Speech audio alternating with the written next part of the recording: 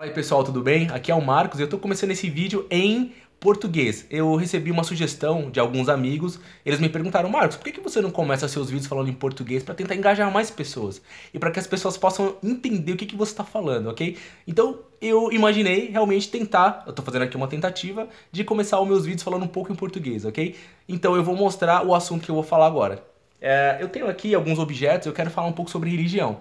Eu vou mostrar um livro aqui, é um livro kardecista, o livro dos espíritos de Allan Kardec, e sim, eu já fui no espiritismo. Eu tenho aqui outro objeto que é uma estátua do Buda. E sim, eu já fui no budismo também. Eu tenho aqui mais um objeto que eu quero mostrar para vocês, isso aqui é tipo uma herança de família. Eu tenho aqui a Sutra Sagrada da Seichonoye. E sim, eu já fui na Seichonoye também, ok? Eu ia com os meus pais eu gostava muito disso. Sou. Então, eu falei sou aqui em inglês. Então, eu tenho essa, essa questão religiosa, mas não como algo espiritual, algo é, sagrado, mas sim algo como se fosse uma pesquisa, tá bom? Deu um minuto e agora eu vou trocar e vou começar a falar inglês. Hi guys, this is Marcus and perhaps you know me, perhaps you don't know me because perhaps this video is the first one that you are watching over there. My name is Marcus and I started this video uh, showing some things that I have at home. This video will be about uh, religion. I will talk about some things that I I knew and I know about religion and I really want to share it with you, okay? So I will show again because I show it talking in Portuguese, but right now I'm going to show you and talking in English about things that I showed before, okay? Let me take the first one. I have here, right now on my hand, an old book it was written in Portuguese, but I will try to translate that. Uh, the guy that wrote that, he was named Allan Kardec, and the book is named The Book of the Spirits. And yes, I already went to a spiritual place. I went to the Spiritism some time ago, and I want to talk about that.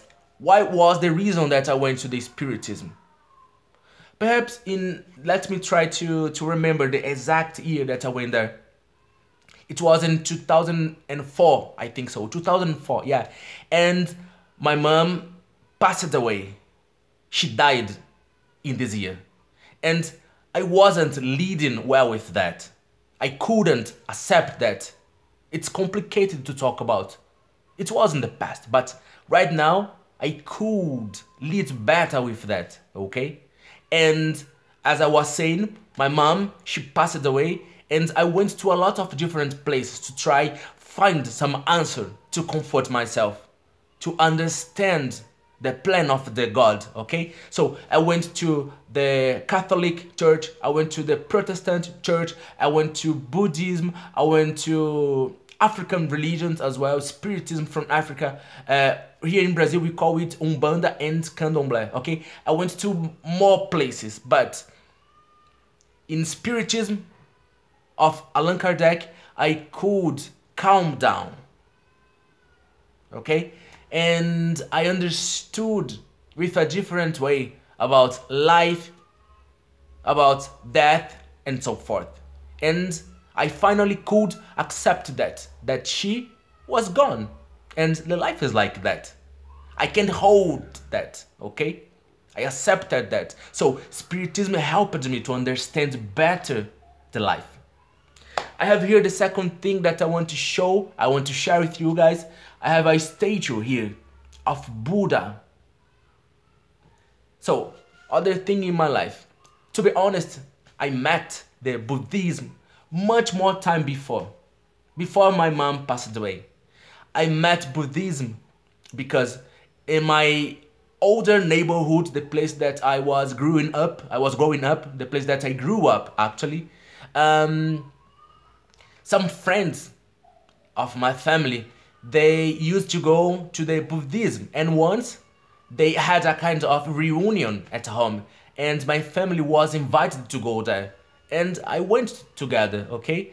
And I could meet the religion, the proposal, okay? The things that they they does they do in Buddhism, and I really appreciate that.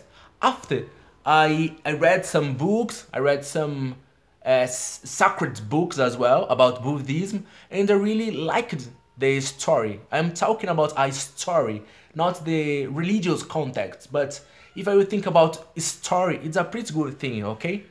Someday in the future I may talk better about that, explain the details that I understood and that I know, okay?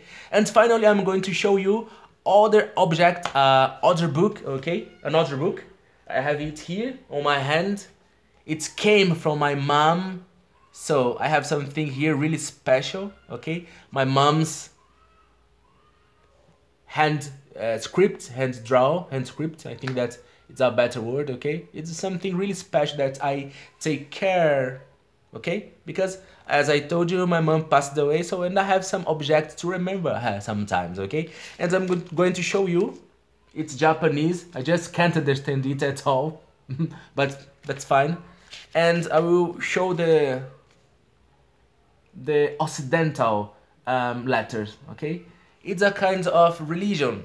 I think that I, I can't call it a real religion, okay? It's a style of life, a way of life, okay? You have some practices, some methods, you know? You need to pray, okay? But it's quite good. It's pretty similar of Buddhism. And going back to talk about religion in general, I'm generally speaking about religion. Uh, nowadays, I'm not a religious person anymore, but I really respect everybody. If you are Catholic, Protestant, spirit, spiritual, okay, that's fine to me, okay? The most important thing in my personal point of view is you need to respect the other one. You need to help the other one, people that actually need to have some help. This video is finished. I'm Marcus. If you know me, that's fine. If you don't know me, because perhaps you don't know me, perhaps this video, this first one, video that you are watching right now, my name is Marcus. I'm a Brazilian guy trying to find out a way to improve the English as a second language. I hope to see you in the future, guys, and bye-bye. Bye-bye.